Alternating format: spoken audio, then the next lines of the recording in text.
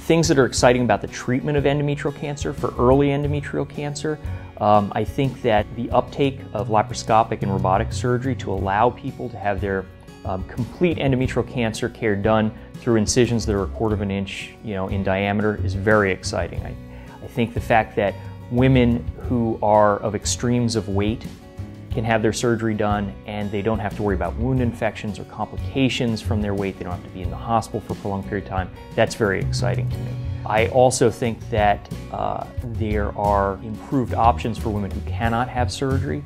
Uh, radiation therapy with uh, intensity modulated radiation therapy or IMRT uh, allows women to get treated with fewer side effects. And I think that we're going to see uh, an improved knowledge of the hormonal and oncologic treatment of endometrial cancer so that when it is metastatic, we'll have better treatment